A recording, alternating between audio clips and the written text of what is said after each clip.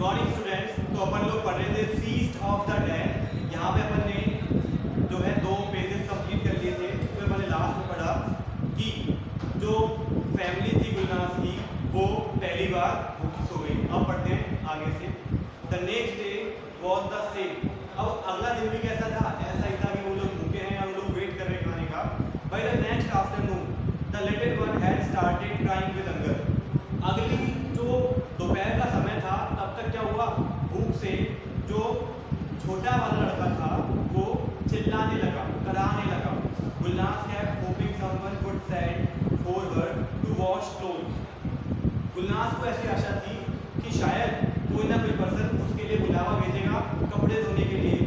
But the people of the street thought it would be inconsiderate to call her for work लेकिन जो गली के लोग थे, उन्होंने गुलनाज को घर पे कपड़े धोने के लिए बुलाना असंगत या अविवेकपूर्ण समझा इसलिए उन्होंने नहीं बुलवाया the day after no one in the household thought of getting up उस दिन क्या हुआ?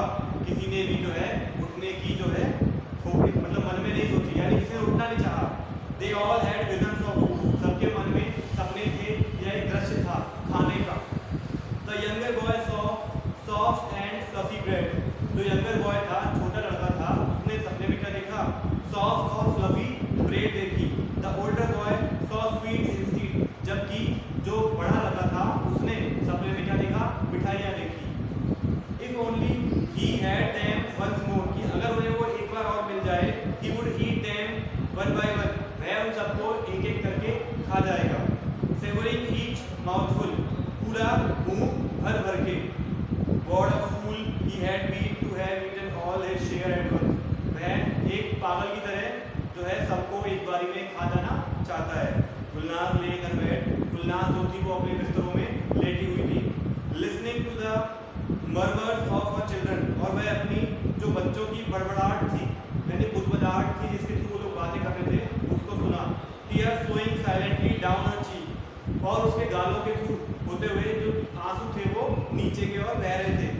Life went on in the street outside as before पहले की तरह ही जो स्ट्रीट का माहौल था, वहाँ पे स्टार्ट हुआ, यानी कि लोगों का निकलना स्टार्ट हुआ, आना और जाना भी स्टार्ट हुआ। अ डोर क्लोज एक दरवाज़ा बंद हुआ। शी न्यू वह जानती थी इट वॉज़ द बॉय कि यह वही लड़का है next door going to school जो पास में ही रहता है और स्कूल जा रहा होगा फुट स्टेप साउंडेड आउटसाइड घर के बाहर जो है फुट स्टेप जो थे, पैरों की जो आवाज़ थी पैरों की जो आवाज़ें, चलने की जो आवाज़ें थी, वो महसूस हुई। This time it was Tahsin Effendi और अब की बार कौन था ये? ये इस बार कौन थी? तहसीन एफिंदी नाम का कोई पर्सन था या लेडी थी। द बार्बर पर्सन था जो कि एक नाई था। Walking down the street to open a shop जो कि गली में जा रहा था। इसलिए अपनी शॉप को ओपन करने के लिए the next one was the clerk in the electric company और जो अगला था वो कौन था? जिसकी पैरों की चलने की जो आवाज़ सुनाई थी वो अगला कौन था? वो एक पर्सन था जो क्लर्क था क्लर्क था इलेक्ट्रिक कंपनी के अंदर। देन द शू मेकर उसके बाद कोई शू मेकर गया। And then the bread man और उसके बाद कौन गया? एक ब्रेड मैन गया। Who comes to the white house every day at the same time जो एक फिक्स समय पर, निश्चित समय पर डेली व्हाइट हाउस आता है। The big basket tied to both sides of his road were full of bread और जो पर्सन था, जो ब्रेड मैन था, वो क्या करता था? अपने घोड़े के दोनों साइड बड़ी बड़ी बास्केट्स बाँध करके लाया करता था। और दोनों बास्केट्स में क्या थी? ब्रेड हुआ करती थी। The cracking of the basket could be heard from far away और उन बास्केट्स की क्रैकिंग की जो आवाज़ थी, वो काफ़ी दूर से ही सुनी जा सकती थी। It was the older boy who first heard it यह कौन था? बड़ा लगा था जिसने पहले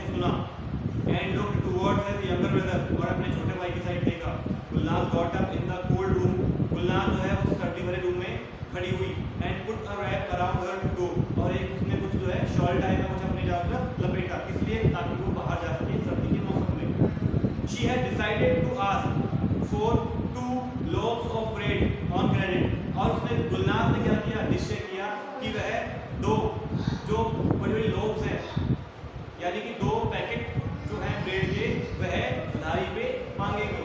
शी कुड पे, और वो उनको पेड कर सकती है। वह शी गॉट मनी, जब उसके पास पैसा आ जाएगा। फ्रॉम लॉन्ड्रिंग किसके थ्रू जब वो लॉन्ड्रिंग का, यानी कपड़े धोने का काम स्टार्ट करेगी, उसके पास पैसा आएगा तो वो वापस रीपे भी कर देगी। She open the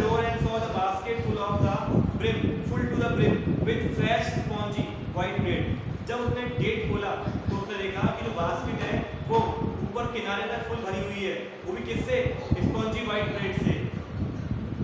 A beautiful smell, went up her nose.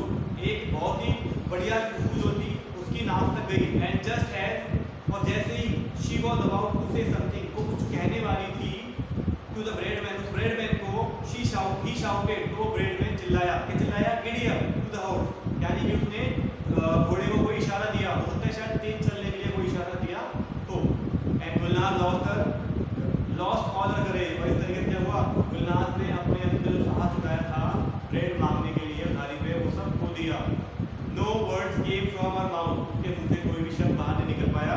And heavily smelling food और जो खाने की खुशबू थी, उस ब्रेड की खुशबू थी, जो बहुत तेज गति से आ रही थी, बहुत तीव्र आ रही थी पास बाय हर उसके पास बाय हर हाउस उसके घर यहाँ से गुजर गई यानी कि वो ब्रेड वाला वहाँ से गुजर गया एक तरीके से but she could not stretch out her hands and take it लेकिन उसकी इतनी हिम्मत नहीं हुई कि वह अपने हाथ फैलाकर उनसे मांग सके या उससे ब्रेड ले सके शी केम इनसाइड वह अंदर आई but did dare look into the favoured eyes of her son waiting hopefully वह अंदर आई लेकिन उसकी इतनी हिम्मत नहीं हुई कि वह अपने जो बेटा है, उसकी आँखों में देख सके, जिसके मन में क्या है?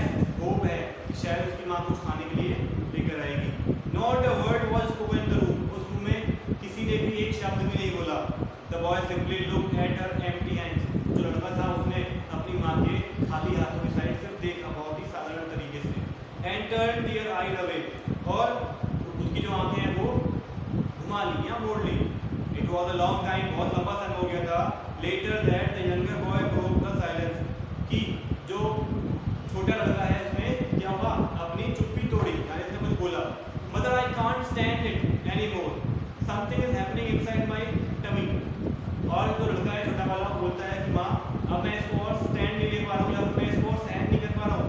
कुछ मेरे पेट के अंदर घटित हो रहा है या कुछ हो रहा है don't worry my feet sir it's hunger I feel it too उसकी माँ बोलती है बेटा चिंता मत करो ये क्या है ये भूख है और मैं भी इसे महसूस कर रही हूँ I am dying I am dying मैं मर रहा हूँ या मैं मर रहा हूँ ऐसा कौन बोलता है जो लड़का है छोटा वाला वो ये बात बोलता है the older boy open his eyes and look at his brother जो लड़का है बड़ा वाला उसने क्या किया अपनी आँखें खोली और अपने भाई की ओर देखा Gulnath look at both of them और गुलनाथ ने उन दोनों की साइड देखा the little boy was silent जो लड़का है छोटा वाला वो क्या था वो साइलेंट हो गया था हिज फेस वाज डार्कर उसका जो चेहरा था वो कैसा हो गया और डार्क पड़ गया हिज लिप्स उसके लिप्स भी डार्क पड़ गए काले पड़ गए ड्राई एंड पार्च और उसके कैसे हो गए सूखे हो गए और शुष्क हो गए his bloodless skin faded and hollow और जो उसकी खून रहित या कम खून वाली या अल्पता खून की अल्पता वाली जो स्किन थी